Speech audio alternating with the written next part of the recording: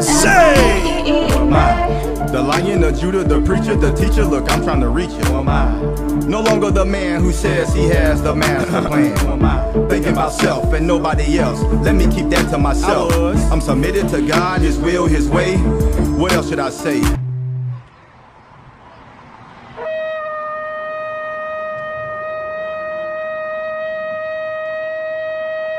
Lord, yeah. The book of Amos, chapter 3, starting at verse 6. Shall a trumpet be blown in the city? Uh huh. I'm going to say that again. Shall a trumpet be blown in the city, Tampa Bay? Uh huh. And the people not be afraid. Shall there be evil in the city, and the Lord had not done it? and the Lord has not done it, that means that y'all think y'all know God, but you don't really know him. He kills, he creates life. Give me that. I'm going to read that again because I don't think our people understand, black people, black men, black women, we don't understand. The book of Amos chapter 3, starting at verse 6 says, shall a trumpet be blown in the city and the people not be afraid? What's going on? Look around, huh? Shall there be evil in the city and the Lord had not done it? Bring it out. The book of Isaiah, chapter 45 and verse 7. For I form the light and create darkness. I make peace and create evil. Stop right there. Uh, let's try that again. Isaiah 45 and 7. I form the light. I form the what? I form the light. Oh yeah, we all know that the Most High God made the light. He created the sun, oh so forth and so on. Go ahead. I make peace. I said, he said, he makes peace. This is the God of Abraham, Isaac, and Jacob. We ain't talking about Buddha. We ain't talking about Allahamahataha, whatever. We're not talking about it. We're talking about the God of Abraham, Isaac, and Jacob. Continue. I make peace. I make peace, he says. And, and create evil. And he do what? And create evil. He creates the evil. The God that the Christian, the so-called Christian serves, he says he creates peace and evil as well. And so we're out here today as your brothers, as your brothers in Christ to warn you. Bring it out, huh? Death is on your doorstep. I hope you heard me. I'm going to say that one more time and then you continue. Death is on your doorstep for our people. Go ahead. Finish. And create evil. I, the Lord, do all these things. I the who? I, the Lord, do all these No, no, things. not grandmama, uh, God. What? I, the Lord, do all my, these my, things. no, my grandma took me to church and I know God and, and, and he, that ain't him. I, the Lord, do all these things. The Lord, God Almighty, He's the one who does all of these things. He orchestrates it. What else you got, Op? We're going to jump over to Jeremiah 15. Because th- this is the day that the Lord has made, and I will be, I will be glad and rejoice therein. I will be glad. Bring it out. The book of Jeremiah, chapter 4, verse 22. For my people is foolish. They have not known me. Stop right there. This Bible that y'all been reading now, or you claim somebody that you know read out of it, or you wrote wrote, it tells you what? My people are foolish. It's saying y'all stupid, you're dumb. You've been working for the white man for so long, you're caught in his system. You don't even know what's going on, you're blinded. Continue. They have not known me. They don't even know who I am. They claim that they know God. They claim I pray at night every night. They claim that God knows my heart. But you don't know a goddamn no thing. Continue. And they have none understanding. No understanding. You don't know what you're talking about. You're lost. Our people are lost. Can't you see? Continue. They are wise to do evil. You're wise to do evil. Y'all know this the scam city? Huh?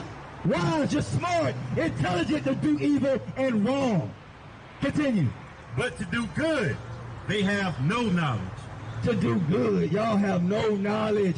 You don't know how to help your brother when he down. You don't know how to help your sister when she aching and feeling hurtful inside. You don't know how to raise your children correctly to keep them from going astray. And you know what a stray leads to the ditch, six feet under, in jail, and them the only two options. What you got, Doc? Give me what is good. Because there's none good. But, the, but God. None good. But God. We're out here to help y'all out because our people are stupid inside, as the scripture says. I didn't say it. The scripture, the Bible. Oh, I guess none of y'all read y'all Bible no more. Okay. The book of Romans, chapter 7 and verse 12. Wherefore, the law, The what? Hold on. Go ahead. wherefore, the law is holy, The law is holy. That word holy means set apart. It's what, co- continue, and the commandment holy, continue. and just and good. It's holy, just, and good. What you talking about, Hazaid? The law of God. You following the white man laws? You ain't got no problem with that. Or you sneaking, you're scrubbing. Hiding what you're doing. Scamming. Read that again, Art. The law of the Lord is just and good. That is correct. You are the children of Israel. You are the ones this Bible been talking about, and we still don't get it.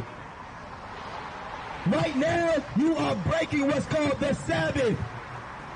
The Lord worked for six days, and on the seventh day, he rested. And guess what? He made in your image. You are made in his image, like you.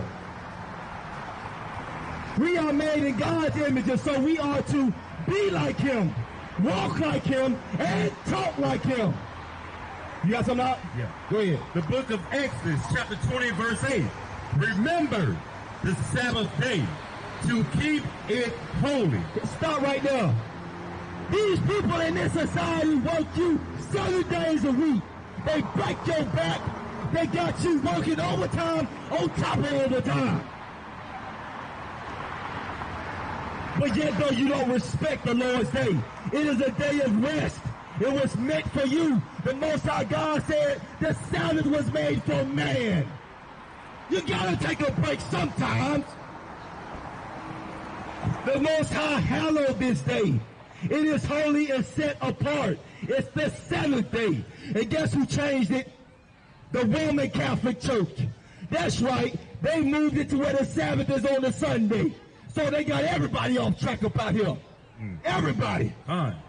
But we're going to correct it today. Because my people, listen, this is for the Israelites. The so-called blacks, Hispanics, and Native Americans. The ones at the bottom of the society. I'll bring it up. Go ahead. The book of Exodus, chapter 31.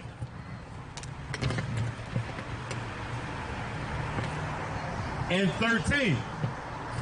Speak thou also unto the children of Israel. The children of who? The children of Israel. The generation of who? The children of Israel. The babies and the children of what? Israel, saying, Verily, my Sabbath shall ye keep it, for it is a sign between me. No, no, no. I got some work to do. I need, you know what I'm saying? I got to make the money. What? It is a sign between me and you A sign like the peace sign, like it tells you something. Continue. throughout your generation. Throughout your what? Throughout your generation. Your grandkids, grandkids, on their grandkids, grandkids, twice removed, whatever. Continue. That ye may know, You gonna know what? that ye may know that I am the Lord that sanctify you. He's the one that has washed you. This is your opportunity to hear the word of God. And I ain't talking about your ears. I'm talking about the part inside of you, the inner man. The inner woman needs to hear this message. Continue. Ye shall keep the Sabbath, therefore, I see you, brother. Keep the Sabbath. Continue. For it is holy. It is holy. If you believe in the God that you say you believe in, then let me see what you're working with. Continue. And it, and I say and it is holy unto you. It's holy unto you, the Most High God. ordained the Sabbath day, the day of rest for you, for His people. And you working like a sweat, goddamn Hebrew slave. Everyone that defile it shall surely be put to death. For whosoever doeth any work therein, that soul shall be cut off. Cut off. What? What? Say that again. I don't think I heard it. For whosoever doeth any work therein, that soul shall be cut off from among his people. You know what that word cut off means? Y'all know, can we use it as a piece of vernacular in our own uh, culture? Boy, I'm about to cut that boy off. I'm about to purge him. Huh? Cut off. It means he gonna off you. You dead. He gonna purge you. Cause you ain't no good to him. Yeah, that's the real God. He real thuggish and ruggish. I'm being real. He just ain't the God that, oh, oh, he gonna give you this, and whenever you call him, he gonna do that. He, he more than that. Continue, go ahead. What you got? The book of John, chapter 9, and verse 31. Yeah, yeah, it's in y'all same Bibles you got at home on the lampstand. Collecting dust, huh? Ain't being put to use. It's knowledge in that book. It's your history. Go ahead. The book of John, chapter 9, verse 31. Now we know that God heareth not sinners. Uh-oh, uh-oh. No, he uh, he heard my grandma. He grandma heard my grandma. Go ahead. What? Now we know that God heareth not sinners. The Lord don't hear sinners. Well, let me say it again. The Lord don't hear sinners. What sin? Transgression of the law. You're breaking it. Go ahead. But if any man be a worshiper of God and doeth his will. Oh, no, no, no, sorry. Oh, I worship God in spirit and truth and truth and so forth and so on. You're the goddamn gonna lie. And the truth ain't in you. We bringing out the real truth. Get hip to what we're saying here, and your lives may be spared and saved. It's called salvation. Yeah, you heard about it. Go ahead. Uh, John 9:31. Now we know God heareth not sinners. But if any man be a worshiper of God and doeth his, his will, him he heareth. Now we know that God heareth not sinners. All right, so stop right there. So God ain't gonna hear you. I'm gonna be, I'm gonna be point blank, blank, frank, uh, frank with you, blunt to the blunt.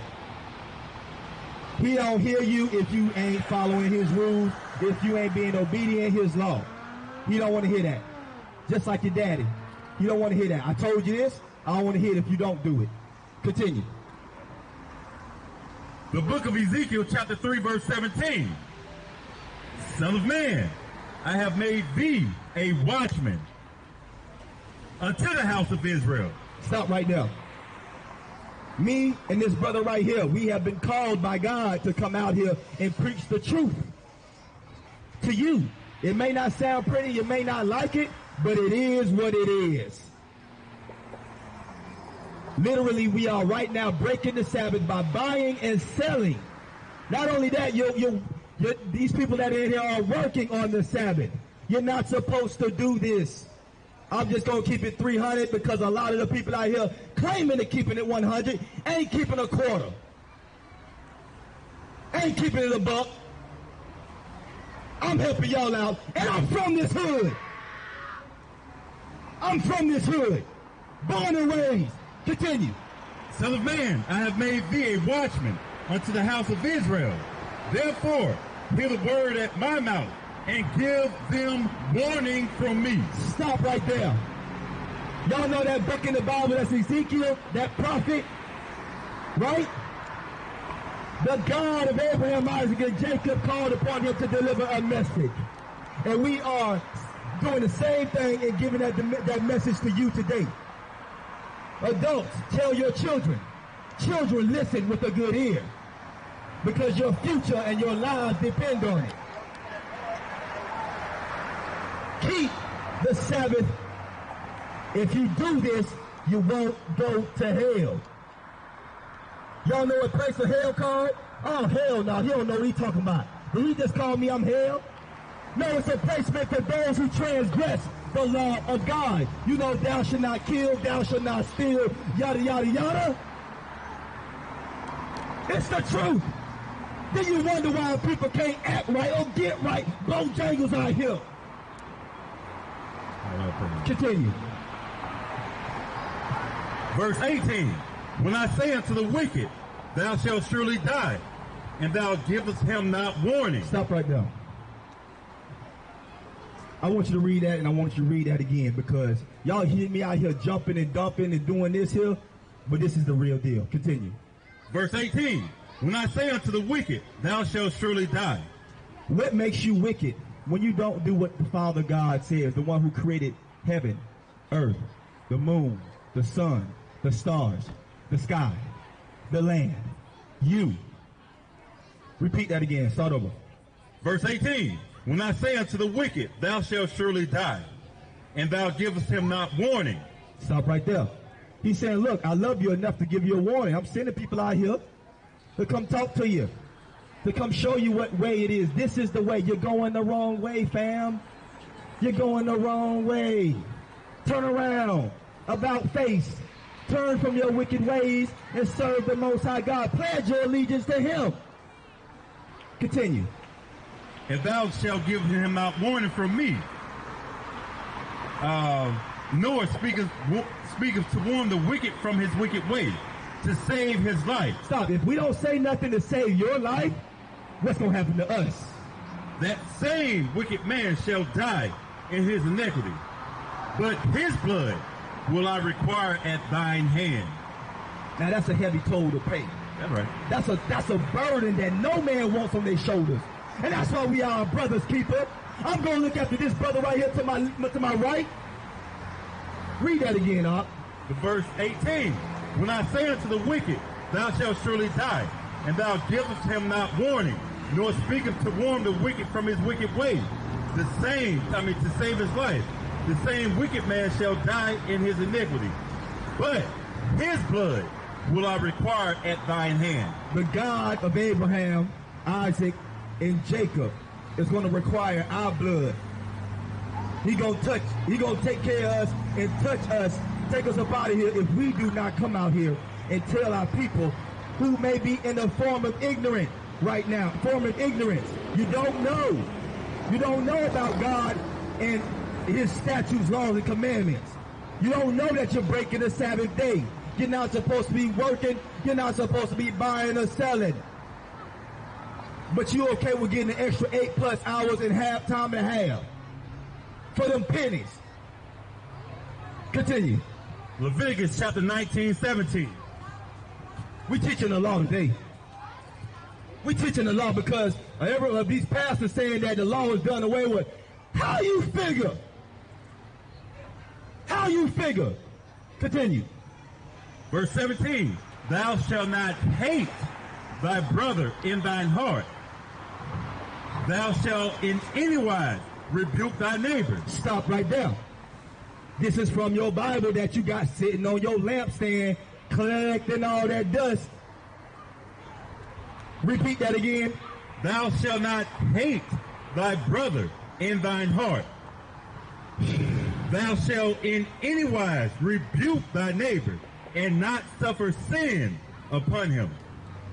Repeat that one more time, Bob. Thou shalt not hate thy brother in thine heart. Thou shalt in any wise rebuke thy neighbor and not suffer sin upon him. It is our job, black man, black woman, to rebuke, correct one another when we see somebody going off. It's simple. It's simple. That's how your community is able to thrive when you're not self-sabotaging one another, fighting up against one another. What was that last part again? We said what? Thou shalt not suffer sin upon him. We shall not suffer sin upon you. One of the greatest commandments was love thy, love thy brother, thy neighbor as thyself. And that's what we're doing. We're showing love to you by giving you the truth the knowledge, the awareness that you are the children of Israel. You are the so-called Jew. That's right. So-called black man, huh? Hispanics and Native Americans. Go ahead. All right, Leviticus 19, 29. Do not prostitute thy daughter to cause her to be a whore. Stop right now. We're in the TikTok era. Now I'm talking to them babies. We're in the TikTok era. Everybody and their mama shaking their behinds, soft porn on your screen. The daughters of Zion, the children pouring themselves out in promiscuous ways that no parent would approve of. Continue. Thou shalt not prostitute thy daughter Oh, speaking life, continue. to cause her to be a whore. So you should not prostitute your daughter. Put her in skimpy clothes. Up your butt. Huh? Come on. The Bible says that that behavior, you doing it yourself, your daughter watches everything you do. They are a product of you. Continue. Thou do not prostitute thy daughter to cause her to be a whore, lest the land fall to whoredom. Stop right there. I seen a I seen a TikTok. A young lady said that my mama made me a hoe. I just want y'all to know. I said, what the? I'm about to. I'm logging off. I'm logging off. I said, where they do that at? Where they do that at? I hope not here in Tampa, Florida. Continue. Lest the land fall to whoredom. The, the land gonna fall to who? Whoredom. Who? And the land become full of wickedness. That's the name, what we call today the translation. Back then it also used to be a whore or whoredom. That translates into thought, hoes. Huh? In a different area code, as Ludacris would say. Huh? Continue. Woo. My people, my people, my people, my people, my people, my people. You have been bamboozled. You've been taken from the front and the back. Wake the hell up. If not, your day of judgment will be at hand. And I'm preaching judgment. Raise these children up as they should be raised. The lion of Judah, the preacher, the teacher. Look, I'm trying to reach you. Who am I? No longer the man who says he has the master plan. Oh who am I? Thinking about self and nobody else. Let me keep that to myself. I'm submitted to God, His will, His way. What else should I say? Addicted to money, success. Put on a spiritual vest. Ready to bless. A servant, a soldier. I thought I told you. Who am I? The flight the nations, preach the seat, now drop the beat, then take us home. Home alone, but I'm not alone. I'm in my father's house. Now I preach the kingdom with the streets of gold. God made me whole, now I'm in the zone. Just to keep the laws is what I got to do. Just to keep his grace while I'm in this place. Who am I? The lion of Judah, the preacher, the teacher. Look, I'm trying to reach you. Am I? No longer the man who says he has the master plan. And if you ain't keeping these laws, you ain't spit. God dang it. That's what we're talking about. See, every time we come together, we come together with truth. This is what we do. Music from us to you. All praises to the Most High.